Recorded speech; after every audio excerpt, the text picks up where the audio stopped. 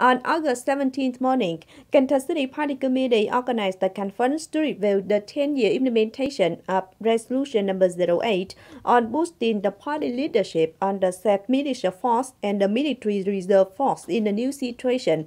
Attending the conference were leaders of the City Party Committee and People's Council.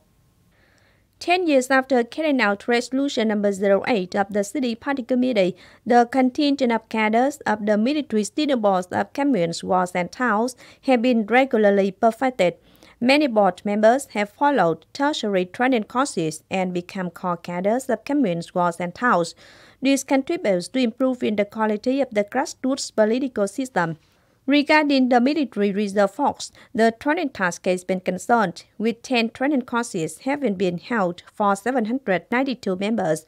Many officials have been promoted brevet rank from then gradually recovering the shortage of staff.